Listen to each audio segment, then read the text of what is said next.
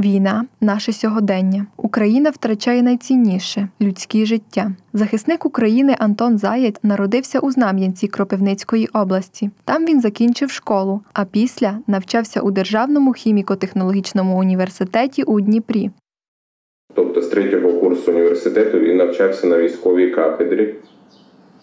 По її закінченню отримав звання і був готовий приймати участь в обороні нашої країни. Антон Заєць був заступником командира батальйона. Воював у 57-й бригаді, 34-му батальйоні окремої мотострілецької бригади імені Кості Гордієнка. Він пішов і, і знову ж таки на нулі, і знову ж таки на Луганщину, на Донеччину, і приймав е, участь в дуже складних боях і Давидовий Брід, і Сухий Ставок, і пройшов і Лисичанськ, Попасно, Сєвєродонецьк. В Бахмуті був декілька разів. А під час останнього виконання бойового завдання під Бахмутом, на жаль, його зупинила лише ворожа куля.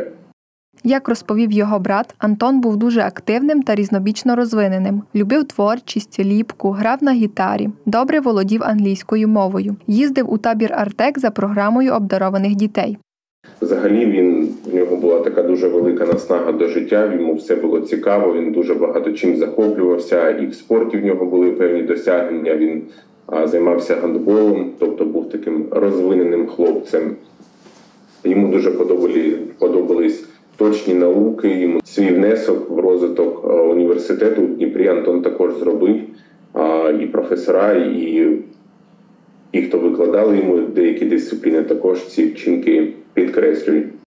Коли в Україну прийшла війна, чоловік не зміг стояти осторонь і пішов добровольцем на фронт у 2015 році. Як запевняє брат героя, такої патріотичної і відданої людини, як був Антон, він не знає. Через тиждень після того, як Антон пішов на фронт, до нього приєднався його батько. Разом вони захищали Донеччину.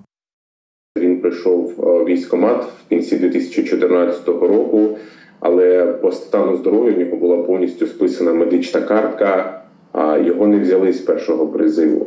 Він дуже сильно наполягав, дуже багато докладав зусиль для того, аби потрапити на фронт. І вийшло в нього потрапити на фронт лише у 2015 році, 4 лютого, якщо бути точно. Пізніше, під час виконання військового обов'язку, отримав контузію і був демобілізований.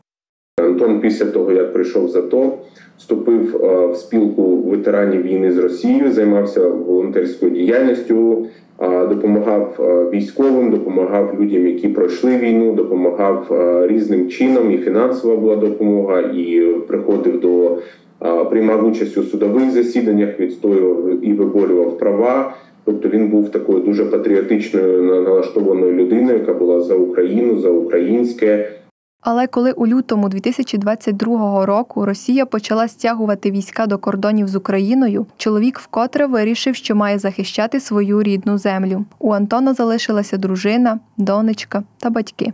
Антон пішов знову ж таки добровольцем. Це було не через військомат. Антон 22 числа 2022 року, тобто 22.02.2022 року, поїхав знову повернувся до своєї бригади 57-ї, знову став на захист батьківщини, маючи вже контузію, маючи, ну скажімо так, списану медичну картку, і тобто він міг би і не йти на війну, тому що в нього за станом здоров'я ну, були такі обмеження, які дозволяли йому відновлюватися, лікуватися, але він не міг стояти осторонь.